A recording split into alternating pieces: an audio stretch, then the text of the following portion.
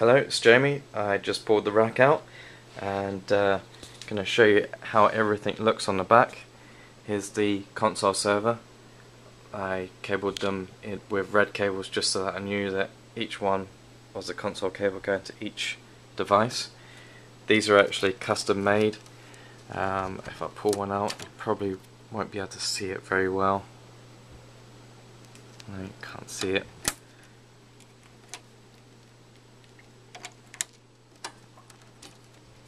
pull this little blue uh, boot off.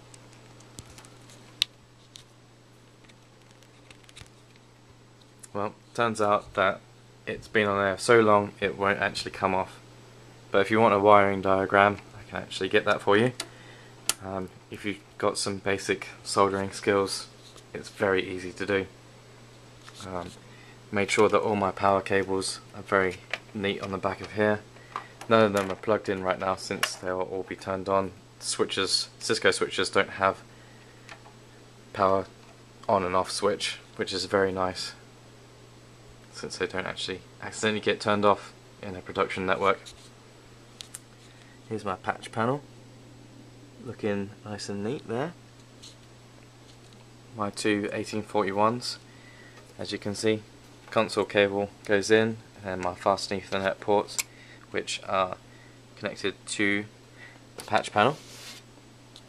And my 2600 series routers.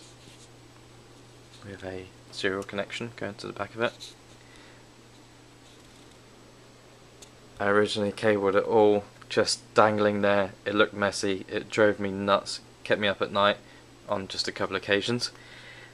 But I spent a day cabling it and making it look all pretty like I said in my previous video, I don't like a messy network, I like to keep it all neat and it really helps if you walk into a network and there's a problem, you don't have to mess around with cables. It just helps out a lot. So keep that in mind. Um, all this equipment really isn't necessary for the CCNA. I'm actually planning on going on to the CCNP and maybe if I feel like it and if I can study it the CCIE. But most of this will work for the CCNP track. If you have any questions about any of this, just let me know.